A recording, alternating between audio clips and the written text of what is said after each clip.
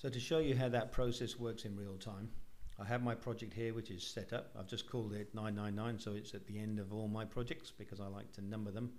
It's an analysis only project.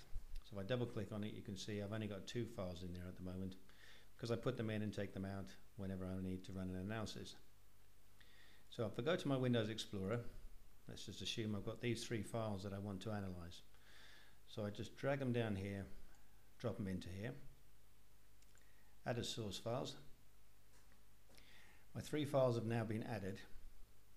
So I can select my files, batch tasks, do an analysis only, and finish.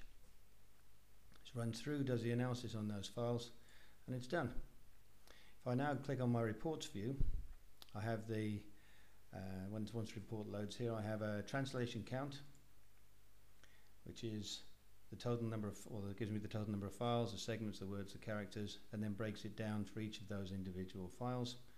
If I look at the analysis for those files, in there I get the full analysis, which is based on um, all the things you'd normally expect to see.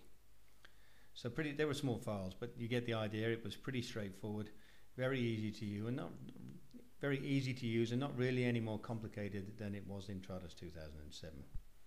Now, if I want to save that particular file, or just to show you the other thing, I can also group it by report types or by languages if you're mixing it, mix and matching. If I want to save that file, I can click on Save As,